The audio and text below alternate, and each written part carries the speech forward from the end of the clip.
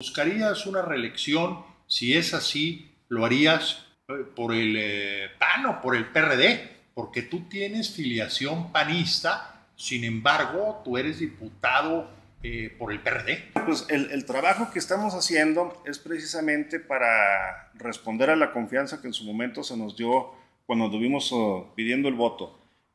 Las personas que andamos en este medio Claro que sí tenemos aspiraciones y sí nos gustaría repetir en el, en el tercer distrito. ¿La alianza está firme? Sí, está firme. Está firme ya de, de, la etapa que se tenía para encabezar los uh, trabajos para el Frente Amplio Opositor. He estado viendo una relación interesante eh, entre Andrés Manuel López Obrador y el gobernador Esteban Villegas uh -huh. Villarreal.